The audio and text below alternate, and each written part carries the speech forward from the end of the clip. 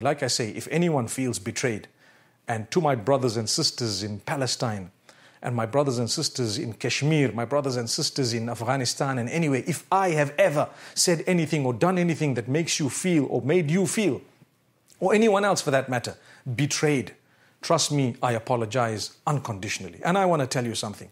We stand with all the good causes on earth, the oppressed, no matter where they are. I, like I said, I may not be an activist, but I'm a Muslim at the end of the day.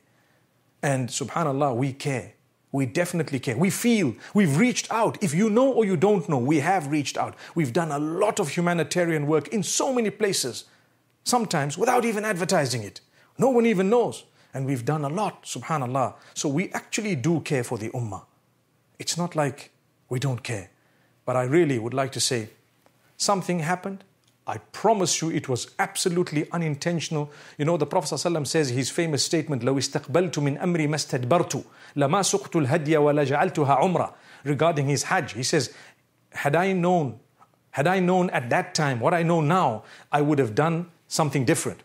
It, the exact thing I can say today, to say, had I known what I know now about the things or about, uh, you know, who it was that I was, one person, one person, not even anyone else, one person. There was no one. There were a thousand people. It was a person who perhaps, all and a photograph that took place that created the problem. Had I known at the time what it was, I probably wouldn't even have been there. And I'm, that's an honest statement.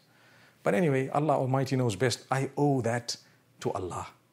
And He knows, and He knows the heart. He knows the purity. Sitting at His house today in Makkah al Mukarramah, in front of the Kaaba, seeking Allah's guidance and forgiveness.